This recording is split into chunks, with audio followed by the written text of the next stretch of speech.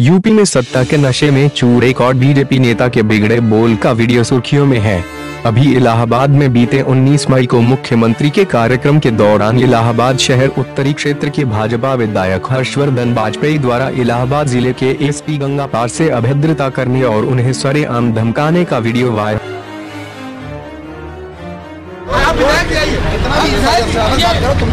जातों से हो मारने लगे चीज़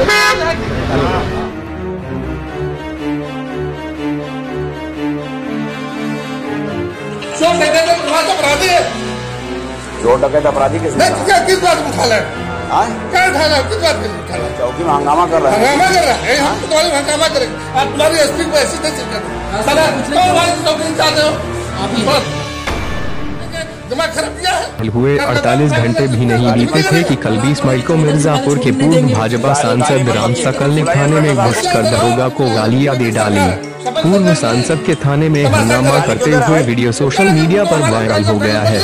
कार्यकर्ता ले आया गया तो उसे क्या नहीं हाँ? क्या नहीं हुआ है? कि आगे यहाँ गाली हमको गाली दे रहे हैं। मेरे खिलाफ मुकदमा लिखिए। नहीं आप गाली देंगे। आप गाली देंगे। गाली क्यों दे रहे हैं? रिकॉर्डिंग है गाली दे रहे हैं। ठीक है ठीक है। खाना है। ठीक है। अध्यक्ष है हमारे कार्यकर्ता है ठीक है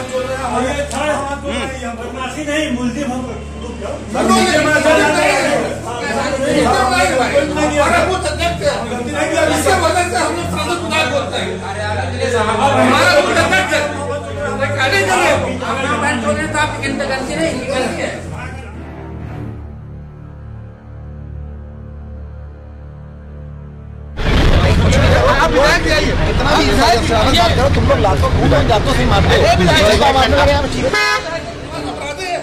दरोगा से थाने अभद्रता करने और गालियाँ देने के मामले पर मिर्जापुर शहर कोतवाली पुलिस ने बीजेपी के पूर्व सांसद के खिलाफ एफआईआर दर्ज कर कार्यवाही शुरू कर दी है।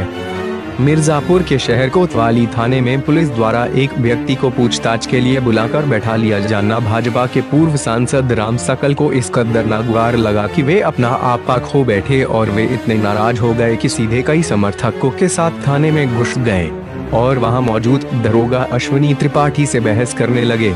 इस दौरान उन्होंने थाने में मौजूद दरोगा को गाली भी दिया, साथ ही कहा, बीजेपी की सरकार है, सपा की नहीं। मौके पर पहुँचे थाना प्रभारी ने बीच बचाव कर सांसद महोदय को शांत करवाया, लेकिन इस पूरे प्रकरण का वीडियो किसी ने बनाकर सोशल मीडिया पर वायरल कर दिया। वहीं पुलिस ने दरोगा के तहरीर पर पूर्व सांसद के खिलाफ शहर कोतवाली में मुकदमा दर्ज कर लिया है। थाना कोतवाली शहर में शाम को चार बजे चौकी इंचार्ज फतहा मुकदमा अपराध संख्या 150 बटे अट्ठारह की विवेचना कर रहे थे, जिसमें कि उन्होंने आरोपित व्यक्ति को थाने में बयान के लिए बुलाया हुआ था। और बयान ले ही रहे थे, इसी बीच में श्री राम सकल सिंह नाम के एक व्यक्ति जो हैं, पाँच सात लोगों के साथ आए और उन्होंने उसको थाने पे बुलाकर बयान लेने पे आपत्ति व्यक्त की और उपस्थित अधिकारी कर्मचारियों के साथ अभद्र व्यवहार किया, जिस, जिसके संबंध में संबंधित उप निरीक्षक ने उनके विरुद्ध तहरीर दी और अभियोग पंजीकृत किया गया, जिसकी विवेचना की जा रही है। साक्ष्यों के आधार पर इसमें अग्रिम आवश्यक कार्रवाई की जाएगी। मुकदमा घटना का है, व्यक्ति से कोई मतलब नहीं है। है।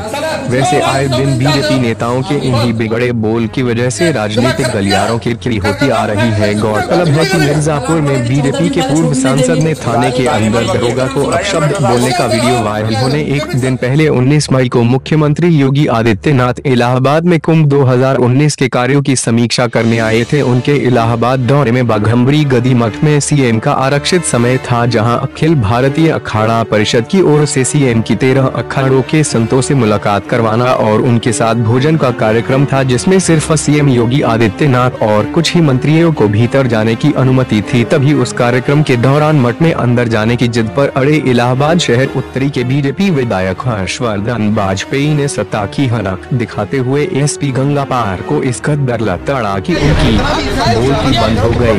दरअसल वे विधायक गेट से अंदर नहीं जाने दे रहे थे तो विधायक महोदय गुस्से लाल पीले हो गए। उन्होंने एसपी गंगा पार सुनील कुमार सिंह को बोला, तुम लोग लातों के भूत को लातों से मानते, अभी देखता हूँ। यह कह विधायक जी जिब्रन अंदर चले गए। हालाँकि इस मामले पर अभी तक एसपी की तरफ़ से बीजेपी विधायक के खिलाफ कोई शिकायत नहीं दर्ज कराई गई है, लेकिन एसपी के ऊपर गुस्से में लाल पीले हुए बीजेपी विधायक के बिगड़े बोल वहाँ मौके पर मौजूद मीडिया के कैमरों के धो गया और उसका वीडियो भी सोशल साइट पर वायरल हो गया। जिसके चलते विपक्षी पार्टियों को बीजेपी नेताओं के बिगड़े बोल पर बोलने का एक बार फिर मौका मिल गया। बहरहाल, आए दिन सत्ता के नशे चूर बीजेपी नेताओं के कारनामे सुर्खियों में है और राजनीतिक गलियारों में चर्चा का विषय बन चुके हैं।